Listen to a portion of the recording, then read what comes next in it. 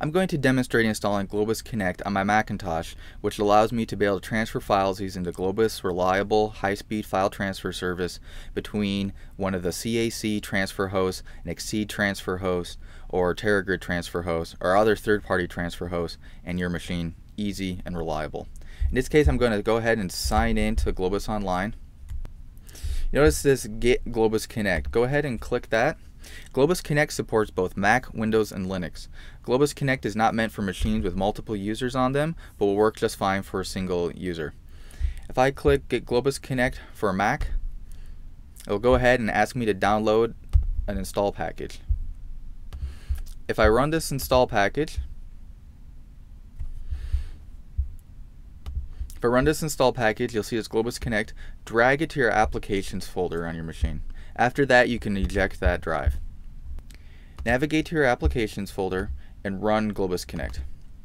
The first time you run it is going to ask for a setup key. You get this by entering on the Globus website an endpoint name. This is normally your laptop name, so I can call it my work laptop and give a description. In this case, I'm just going to call it my work laptop. Click Generate Setup Key and copy and paste this key into Globus Connect. This is the only time you have to do this per machine. Globus Connect is now up and running.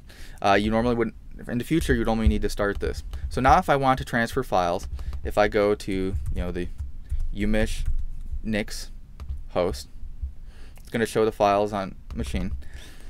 On the other side, I'm going to use my username and then you can see my work laptop. If I select that, it's now going to show all the files on my laptop. And so now I can use Globus Connect to transfer files between my laptop and the cluster and it will try restarting if a transfer fails or a machine gets rebooted and it should provide faster performance than normally SFTP. It's also batch based so you can queue up files to transfer and do something else and it will keep going.